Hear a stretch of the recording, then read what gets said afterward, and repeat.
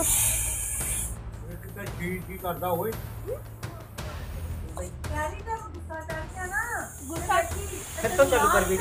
ओ महाराज ओ महाराज तेरे पांव कहाँ मैं छू लूं ओ गुरु ओ महाराज हमें माफ कर दे भाई क्या है अरे ऐसे आज घर का बच्चा ना समझे झूले में झूल के और असल भाई पर को पकड़ रहा है देखिए अपने वीडियो भाई साहब ओ भाई सड़ जाएगा पूरा जिसम में कीड़े पड़ जाएंगे मजाक समझ रहे हो देखो स्क्रीन पर स्क्रीन पर देख लो आप किस तरीके से हालत हो गई है ये कोई मजाक थोड़ी है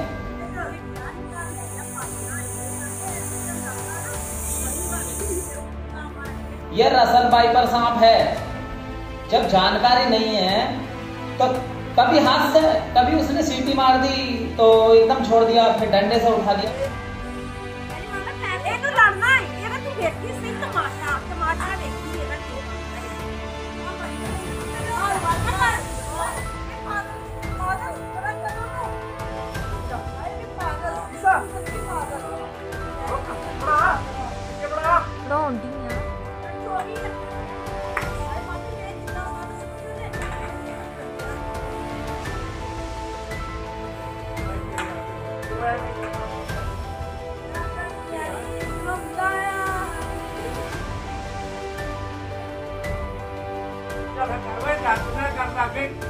ओ भाई साक्षात यमराज है वो अपने मूड में ना इस वक्त अपने मूड में ना है अगर अपने मूड में होता ना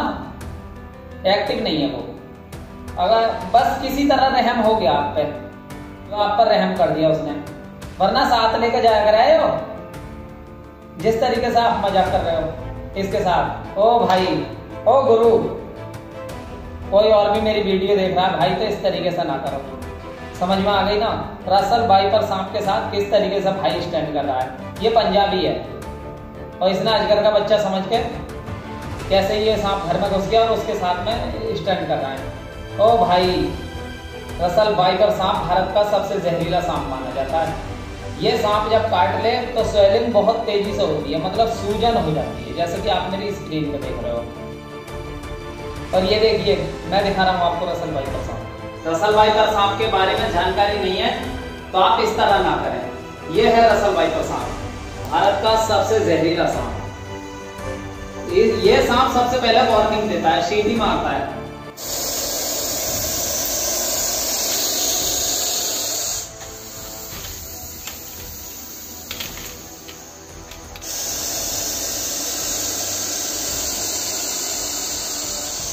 देख रहे हैं बहुत ही जहरीला सांप है सबसे पहले इसको पैक करेंगे और दो मिनट की जानकारी है ये रसल बाइपर सांप है भारत का जहरीला सांप है ये पहले वार्निंग देता है वार्निंग क्या गोल कुंडली मार के सीटी मारता है और जब सीटी मारता है तो वो पहले वार्निंग देता है कि बस खतरा है मेरे पास मत आना फिर भी नहीं समझ रहे हो फिर भी आप उसे हाथ से पकड़ रहे हो ओ भाई घर वालों को उससे प्यार नहीं है क्या जिंदगी से तंग आ गया अजगर का बच्चा भी क्यों समझ रहे हो आप इसे या अजगर समझ के भी क्यों हाथ लगा रहे हो अजगर भी जहाँ से काटेगा इतना मांस निकालने का बहुत बहुत मोटे दांत और बड़े दांत होते हैं उसके भी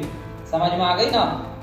तो इस तरीके से ये सब गलत है हाथ में या पैर में अगर काट ले छः छः महीने इलाज चलता है मांस छुट छुट के गिरता है कीड़े पड़ जाते हैं सुनियाँ पड़ जाती हैं इनमें जिसम में समझ में आ रही है ना आ रही है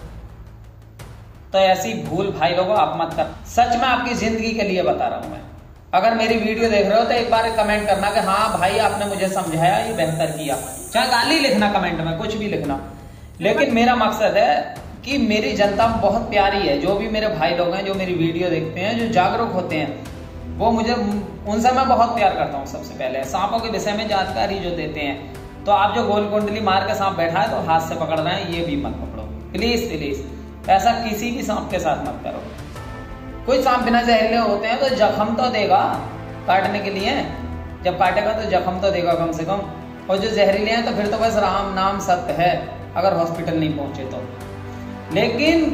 कुछ लोग क्या करते हैं रसल बाइपर के काटने पर भी रस्सी बांध देते हैं रस्सी बांधना रसल बाइपर पर बहुत ही गलत है क्योंकि उसमें स्वेलिंग सबसे ज़्यादा सूजन सूजन होती है नीला पड़ जाए काला पड़ जाता है और फिर मांस छुट छुट के गिरता है मौत तो इससे देर में होती है और सबसे पहले मैं आपको बता दूं कि भारत के चार पांच सांप सबसे ज़्यादा जहरीले हैं Indian common krait spectacle cobra Russell viper और saw scaled viper sorry saw scaled viper Indian spectacle cobra common krait और रसल वाइपर रसल वाइपर का नाम भी ऊपर आता है करैत के बाद में तो भाई होशियार हो जाओ बाकी मेरा कहना इतना ही है ज़्यादा नहीं है आप लोगों को समझाना इतने में ही सारे मान जाओ जैसे कि आप मेरी वीडियो में देख रहे हो Razak snake saver Razak India के जाने माने स्नैक सेवर हैं उनको वाइट हो गया आप तो बिल्कुल हाथ लगा रहे हो उनका हाथ दो दो से ढाई फीट ऊंचाई पे था स्टिक थी हाथ में फिर भी उनके हाथ में काटा छः छः सात दिन हॉस्पिटल में रहे तब उनका ठीक से सही सही हो पाए कितने स्नैक सेवर हमारे रसल वाइपर के काटने पर मौत हो गई है कितने सांप पकड़ने वालों की आप तो कोई स्नैक एक्सपर्ट नहीं हो आप पैर में जूते नहीं है पाँव भी वहीं पे है बस प्रसाद चढ़ा दियो महाराज अपने भगवान के नाम की कह रहे हो वीडियो चालू कर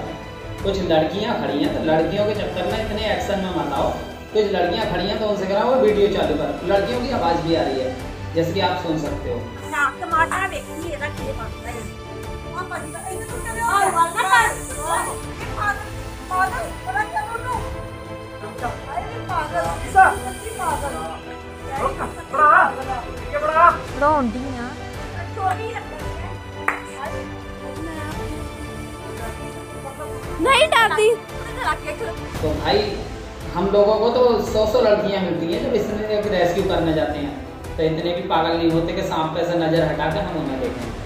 सबसे पहले तो सब माँ बहन है दूसरी बात जिस काम का फोकस है उसी काम पर नजर है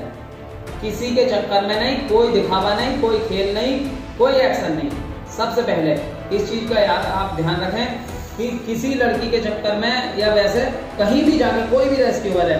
सिर्फ सांप और हमारी नजर स्नेक और नजर और थोड़ा सा प्रसाद चढ़ाओगे ना तो भगवान शायद तुमसे खुश हो जाओ और अपनी गलती पर भूल अपनी गलती पर पछतावा करियो कि हाँ मैं बहुत मुझसे गलती हो गई बस दोबारा मुझे ज़िंदगी नहीं मिल गई आपको दोबारा ज़िंदगी मिली है जो कि रसल वाइपर ने आपको नहीं काटा है काटता तो शायद एक बड़ा हादसा हो सकता था